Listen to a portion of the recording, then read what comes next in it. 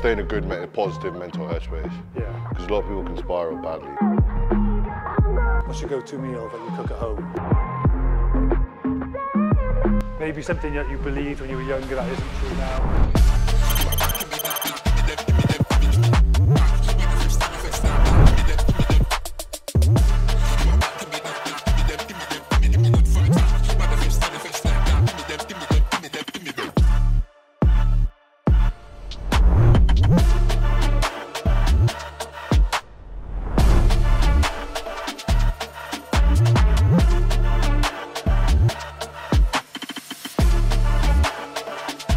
How you find being injured? I, When I'm injured, I actually quite liked it. It's the only time you ever get to focus on yourself. Yeah, I do it. You obviously miss playing, but Yeah. you can actually get a good block of training. Yeah, yeah. You found it alright then being injured. Yeah. Now, if it was a long, if I- if I like again, if I like tore my hammy or like broke, like Yeah. snapped my elbow, I'd probably be in a different headspace. How do you find being injured? All right, or did you find it quite difficult? At the start, at the start, I'm all right, but then you know you miss playing, especially when it's like a big game or if if there's any like Europe games on. Oh, I bet missing Europe with you. Yeah, yeah, yeah.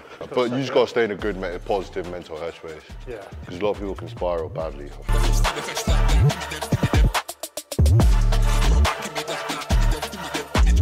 Training day wise. Yes. would that look like? Yeah, 7 a.m. swim, David Lloyd's, uh, breakfast 8, and then you got, they'll try and get all the phys- rehabbers to do all their uppers at the same time. we got uppers, then lowers, and then the boys who aren't ready to train yet have a running session, and then they'll come back and do another lower session. So most of the boys do two lowers a day. How many sets are each session then? Is it like, are they very different? Are they quite similar? Everyone's on their own specific But program, like, to be but fair. it's, it's lower weights twice a day. Is it like a more of a powery one to start, then like a higher volume one to finish? So they both still like weight sessions, if that makes sense. I think uh, in the morning they'll go heavy, so like everyone's lifting heavy in the morning, and then in the afternoon it'll be more functional movement.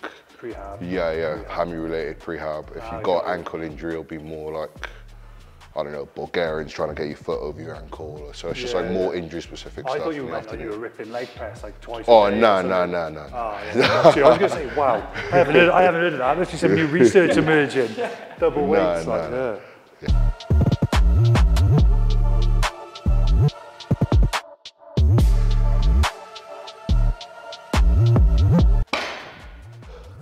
Do you count calories, Christ, or do you kind of, you Nah, I just eat. Do you know how much you'd eat in a day?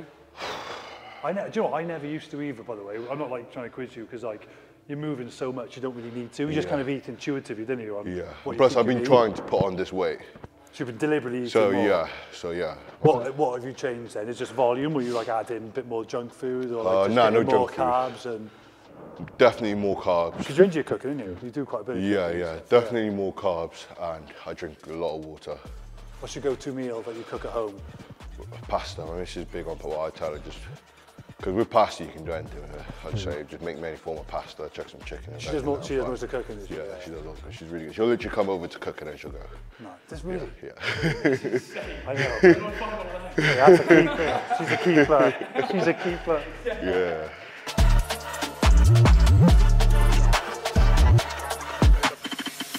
What do what's your go-to steps that you wouldn't want to be without then? AGF and beta. AGF and beta. Uh, I'm banging that like every day, mate. Do, Uh, do, do the AGFs. Have you done that since you put on all this weight as well? I've always had that. I genuinely think I like the amount of water I drink now is stupid. Really? Yeah, I have.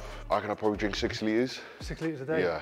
Also four a day for Yeah, yeah. just simmer. Yeah, four a day four, and I don't come off. So I've, I've, and I'll take the odd week off if I'm like, okay, maybe I've, I've banged them for like a good six months on the dot. I'll take the odd week Yeah, off. see, I, I, there a lot of subs you can take them, and I, you cannot guarantee if that's the sub that's made you feel better. But when I do AGF, it's like now, like we just done some testing. Yeah. I've been on them for a bit, and I've been doing loads of dumbbell stuff. I do, I do get stronger off them. Yeah. It's the one thing I take, I notice I get yeah, stronger. It works.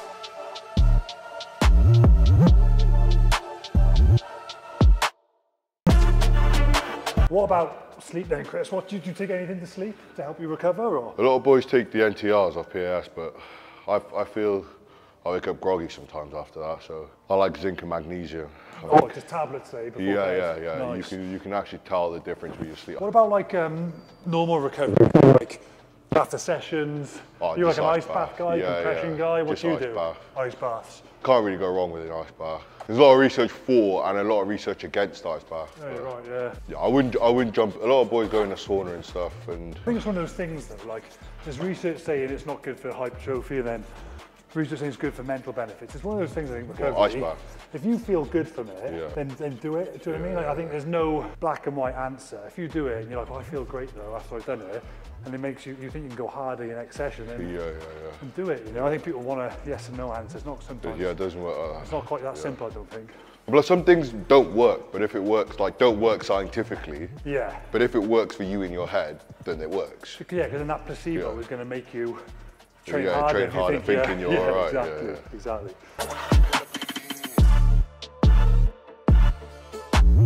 Mag thing I've just said. If it might not work, it might not actually work. But in my head, I think it works. Do you know what? I, a good story on that. There was a um, coach we had, and we were taking all these subs, and he goes, right, take these subs, but don't declare them when you do a drugs test because they haven't been tested. They haven't not been tested. Yeah.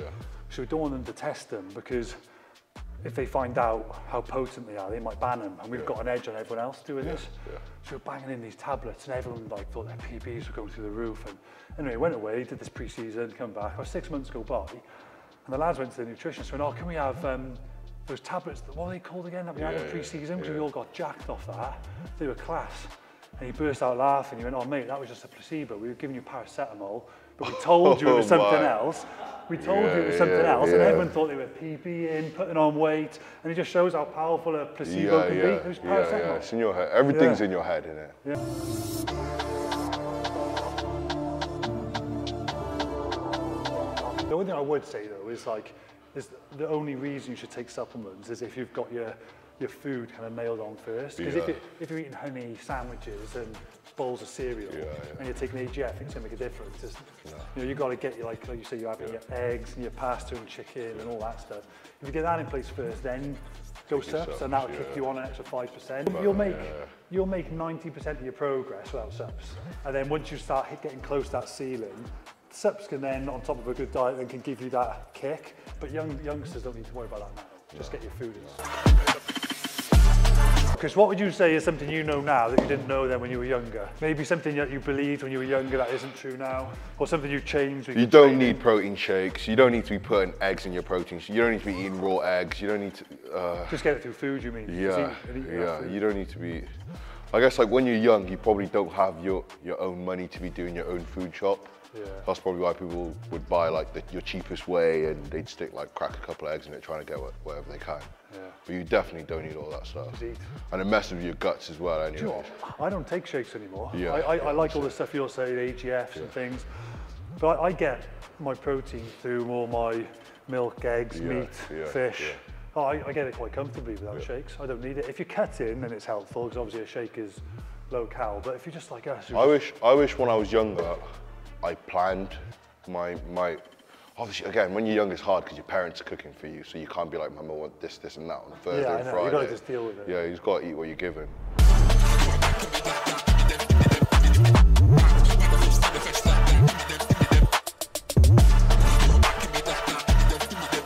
triceps at are my go-to triceps. You're getting the horseshoe, Christ, to a sweatshirt. It's decent.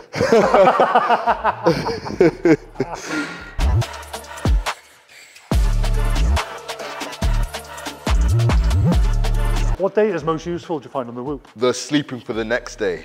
The Whoop will calculate everything you've done that day, your sleep from that morning, and it will give you the best time to sleep for the next day. Really?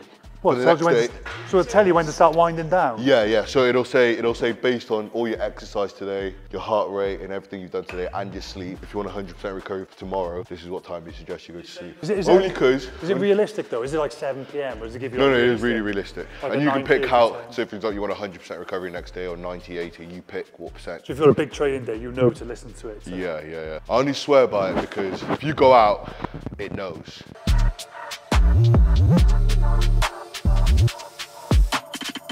I try and make my elbows parallel to the when, I'm, when it's Nice. Coming back. over a bit, get more of a stretch on like. Yeah, try and get your, elbow parallel Yeah. to the ceiling. Yeah.